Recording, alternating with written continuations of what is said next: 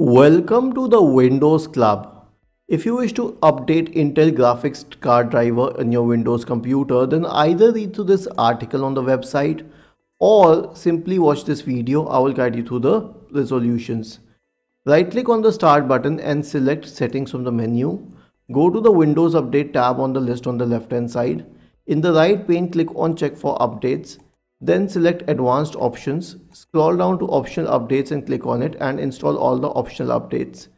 The next solution will be to download the drivers directly from intel.com. Go to intel.com and search for graphics in the Intel search bar at the top right corner. Go to the page associated with the latest graphics card drivers.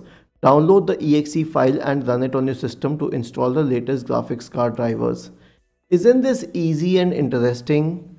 If you have any doubts, please go to the original article on the Windows Club, scroll down to the comment section and write your query.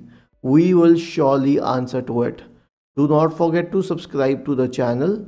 Thank you for watching this video and have a nice day.